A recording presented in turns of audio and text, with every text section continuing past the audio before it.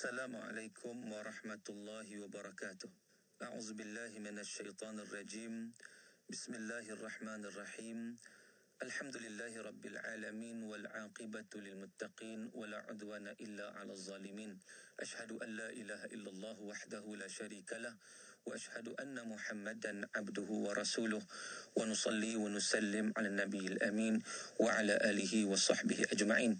سبحانك لا علم لنا إلا ما علمتنا إنك أنت العليم الحكيم. اللهم لا سهل إلا ما جعلته سهلا وأنت تعجل الحزن إذا شئت سهلا. ربي اشرح لي صدري ويسر لي أمري واحلل عقدة من لساني يفقه قولي أما بعد.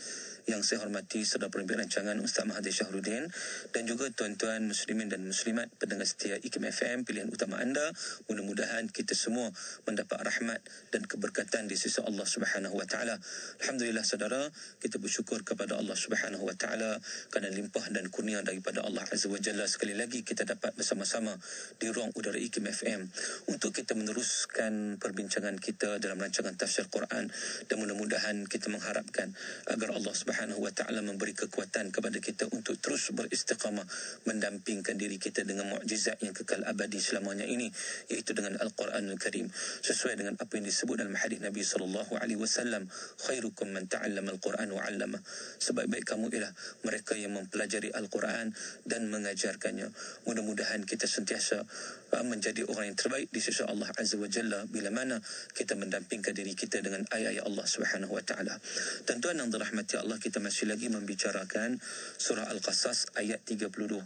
Ayat 32 itu firman Allah Ta'ala A'udhu billahi minasyaitanir rajim Usluk yadaka fi jaybika takhruj bayda'a min ghairi su' واضمم إليك جناحك من الرهب فذلك برهانان من ربك إلى فرعون وملئه إنهم كانوا قوما فاسقين صدق الله العظيم Maksudnya, masukkanlah tangan engkau ke dalam belahan bajumu atau leher bajumu.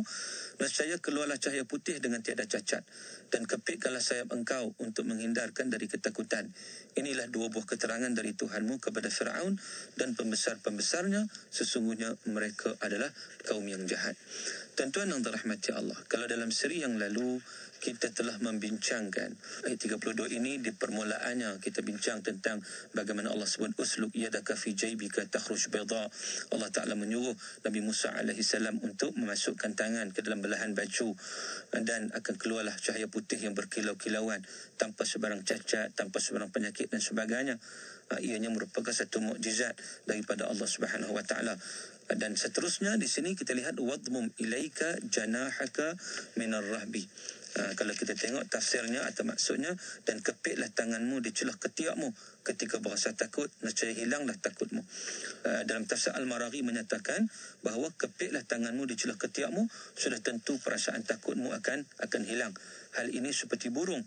Apabila takut ia akan mengembangkan sayapnya. Dan apabila rasa aman dan tenang ia akan mengepitkannya dalam hal ini Nabi Musa AS gemetar kerana takut. Dikejar orang Fir'aun dan ular yang berasal daripada tongkatnya maka dengan sebab itu dia kepit macam burung yang kepit itu dia akan rasa takut.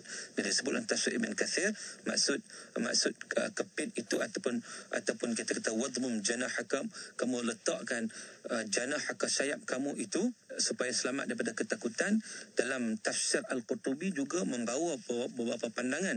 Antaranya dia kata maksudnya itu adalah sekiranya kamu takut uh, kerana rasa gentar mungkin nampak cahaya dekat tangan dan sebagainya maka masukkan sekali lagi masukkan sekali lagi tangan kamu itu dalam uh, belahan bajumu itu dan kamu akan uh, lihat kembali maka dia akan balik kepada yang asal. Ha, jadi maknanya ada pandangan maksud uh, takut itu dalam keadaan kalau takut cahaya tadi maka masukkan pula tangan dalam belahan baju dia akan keluar normal balik dan dikatakan bahawa maksud kepitkan tu ataupun letak sayap itu kepitkan sayap itu maksudnya dikatakan juga qila dikatakan uh, Allah Subhanahu wa taala memerintahkan kepada Musa untuk meletakkan tangannya ke dadanya.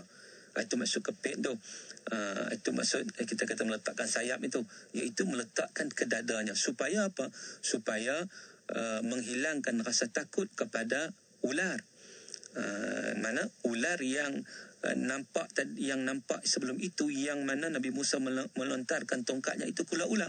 Jadi rasa takut itu jadi caranya dengan memasukkan tangan mendekapkan tangan mendekapkan tangan itu ke dada.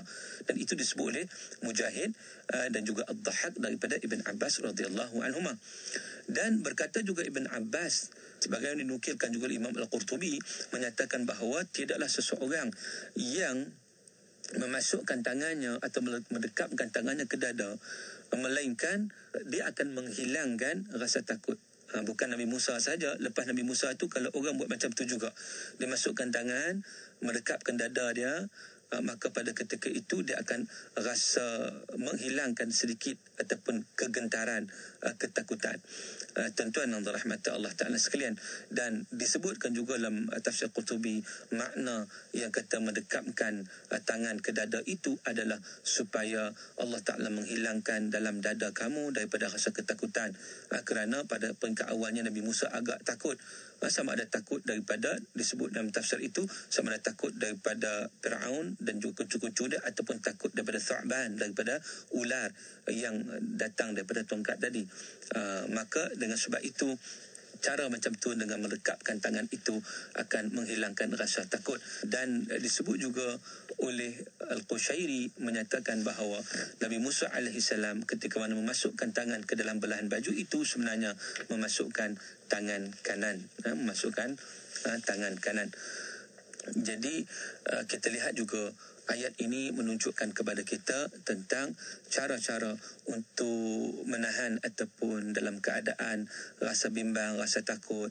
Allah Subhanahu Wa Taala memberi juga panduan dengan melakukan sedemikian dia akan rasa lebih tenteram, dia rasa lebih tenang dan sebagainya. Kemudian kalau kita tengok lagi dalam ayat ini Allah Taala sebut fadhanika burhanani min rabbika ila fir'aun wa mala'ih fadhanika fadhanika ni apa kalau kita tengok kalau terjemahan dia fadhanika adalah inilah ataupun itulah dia dhan ni fadhanika dhani itu maksud isim isyarah dia kalau isim isyarah bagi mufrad dia panggil dha hadha ha, hadha Dha itu isim isyarah. Apa itu isim isyarah?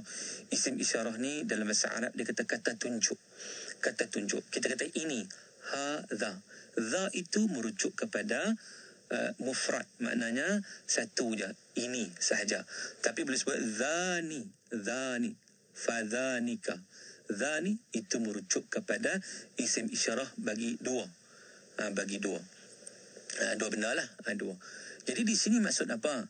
Bila sebut fadhanika burhanani min rabbika.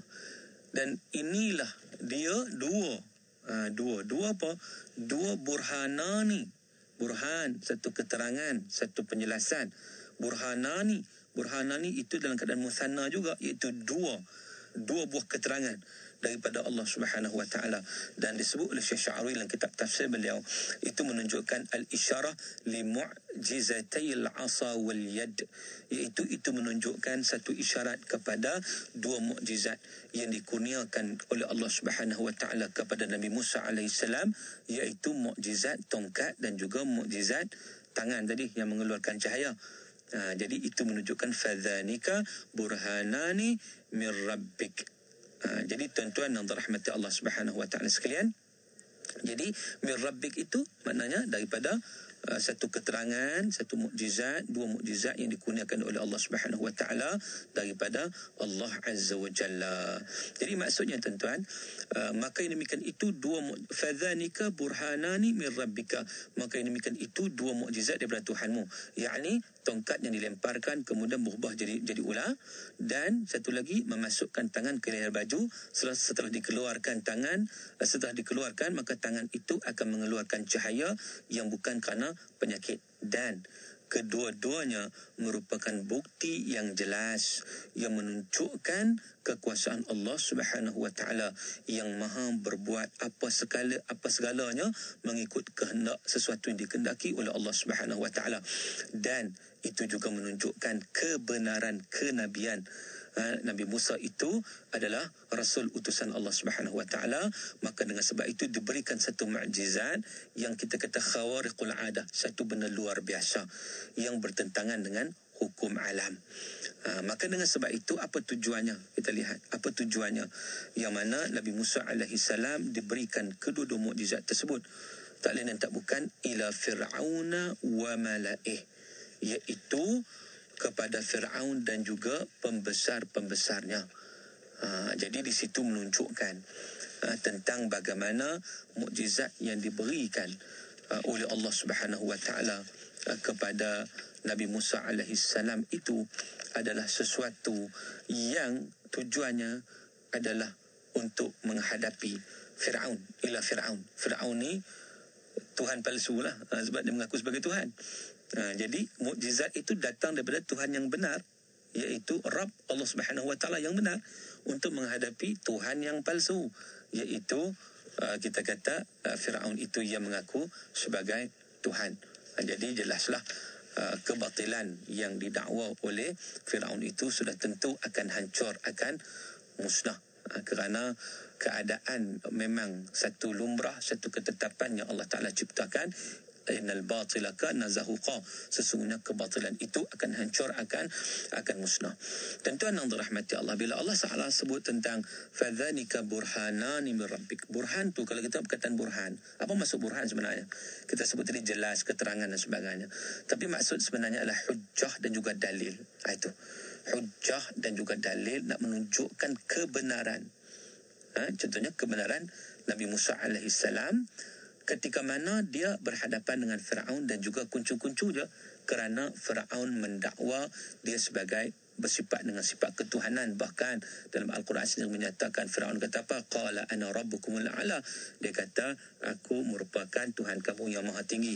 Ha, jadi Allah Subhanahu wa taala menghantar uh, Nabi Musa alaihissalam dengan diberikan mukjizat itu untuk menghadapi Firaun. Yang zalim itu dengan kerajaan-kerajaannya para pemimpin dan para pembesar kerajaan Firaun dan juga uh, para pengikutnya uh, yang mengikut secara membuta tuli yang mengikut apa juga yang diperintahkan oleh Firaun sedangkan ianya merupakan sesuatu yang batil sesuatu yang sesat dan sebagainya. Maka dengan sebab itu Allah Subhanahu Wa Taala juga menerangkan kepada Nabi Musa beberapa alasan sebagaimana yang disebut dalam tafsir Al-Maraghi Allah Taala menerangkan kepada Nabi Musa alaihi salam berapa alasan yang mana Allah memperlihatkan mukjizat itu kepada mereka iaitu akan Allah Taala akan menampakkan mukjizat itu kepada Firaun dan juga pembesar-pembesarnya kepada kaum-kaumnya. Sebab apa? Allah Taala buat macam tu? Sebab innahum kanu qauman fasiqin.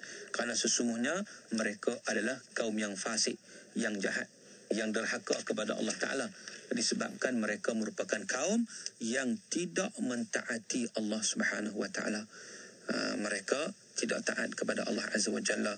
Mereka lawan perintah Allah. Mereka engkar agama yang dibawa oleh Rasulullah, Rasul Nabi Musa pada ketika itu. Maka patutlah kedua mukjizat yang besar itu akan diperlihatkan kepada mereka. Patutlah Allah Subhanahu Wa Taala mengutuskan Nabi Musa dengan membawa kedua-dua mukjizat itu untuk menghadapi kebejatan ataupun kezaliman, kefasikan yang dibawa oleh Firaun kezaliman-kezaliman yang berlaku.